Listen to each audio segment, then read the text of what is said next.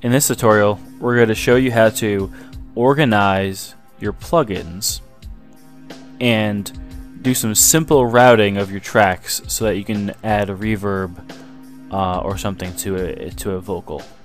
Let's start out with organizing your plugins. You're going to click on either an insert area here where it has this light gray on this theme or you can click on this effects button up here on the TCP. So I'm just going to click right here. Open my plugins. Okay, so a whole bunch of stuff in here. Um, DX, there's got the VST, the VSTIs, the JS plugins, rewire stuff. It's got a whole bunch of stuff that is just a little crazy to see.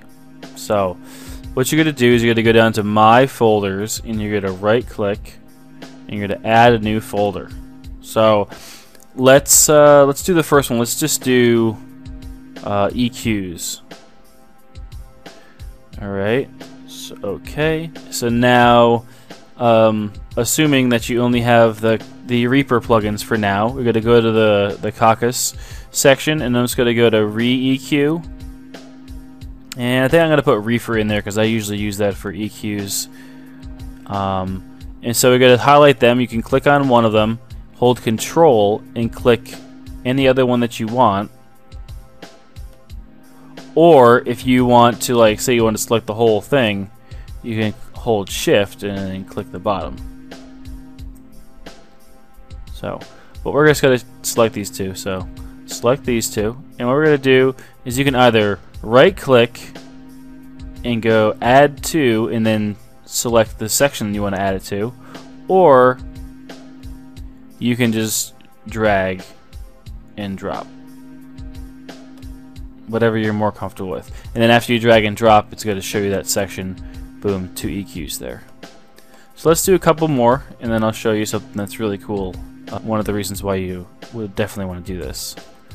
Comp slash limiter. Okay. Let's go to Cockos again. Comp, and now I'm going to just put ReaComp in there. That's the only one I have. So I have some VSTs as well. Density Mark II. You can click on that, drag it on over.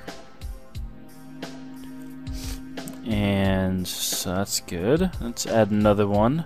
Let's do an amp modeler amp modelers. I think that's how you spell it. Amp modelers and VST. And I just downloaded a whole bunch of stuff from Acme Bar Gig, which is awesome. You got the pre ampus or preamp use. I don't know how he wants you to pronounce it. So I'm going to put all of these right in my amp modeler section. And also in the VST, we've got our shred, which is from them as well. This is the beta. Full version will come out soon. Shred, but shred in there. So now if you look, you got some EQs, comps, and limiters. It's pretty simple to do it. Just make sure you uh, right click, create a new folder, and then you right click on the effect you want and add to and then select it and it'll pop it right in there. It doesn't copy it out of your master list, it just adds to a different folder for uh, organizational purposes. Now let's take this a little bit further. So what if you have an effect that you like but it's got a long name or a weird name. It's like the shred, it's a beta, we know it's a beta, but we want to rename it so it looks prettier. So you're going to go to wherever you can see the effect, right click on it, and you're going to rename effect. So I just want this to be called Shred 1.5 Amp Suite. Press OK, and then boom, it's changed. Same for these. Just want to rename these to. Let's get rid of all the technical stuff to it. just uh, make it look a little bit neater for my eyes. You can go into any effect that you want and just uh, go ahead and rename them. So why would you do this besides a little bit more organization inside of this this uh, view that we're looking at here? Well, here's why. Get out of here. If we right click on this now, you can go to quick add effects and it has all of our sections here. Amp modeler, favorites, EQ, comp limiter, gates. So when you go ahead and start customizing your menus, you can get rid of um, you know, maybe you want to have bypass here. Get rid of this. You can get rid of this add effect. You can have bypass and show effects chain maybe, but then you can just have um, these listed directly in your menu. So you can just, it'd be kind of like Pro Tools where you can just right click, quick add, and then EQ, and then ReaComp. And it opens up, and it's on there. Is really cool. That's it for customizing the plugin area. So how do you do some basic routing for reverb in, in Reaper?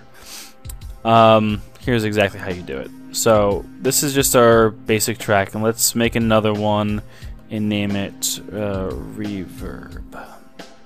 Okay, on the reverb send, you're going to want to put a reverb unit. So I'm going to go to our newly made menu, right click, quick add, reverbs. I'm going to add um, this M30 reverb.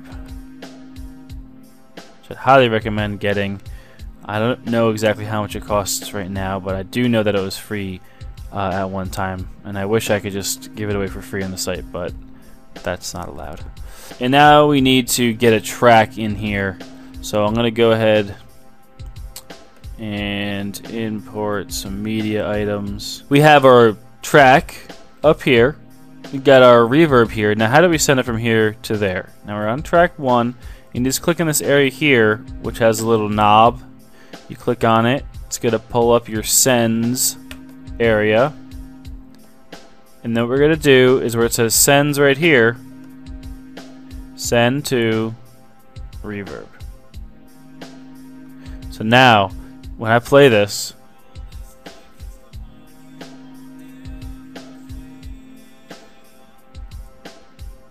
you see the signal's going right over right over there, which is perfect. It's exactly what we want. And you can go ahead and you can adjust how much it sends by just pulling this down right here.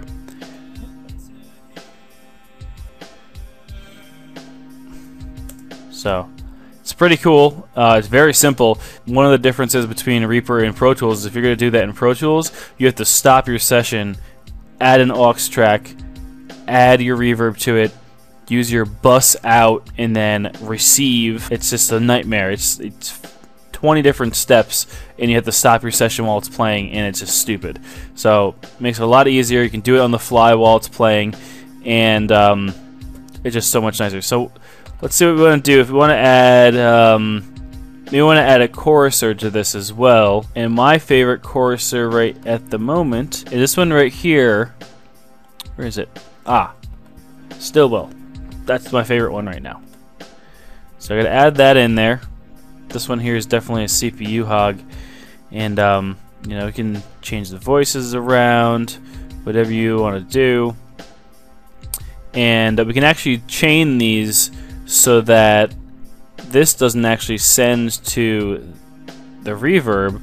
We can make it so that this is you know not necessarily what you might want to do per track, but this is just an example. You could send to the choruser, and then the choruser can send to the reverb track. So if you do that, when you play, it's going to send to all of them and you can pull down the reverb. Pull down this.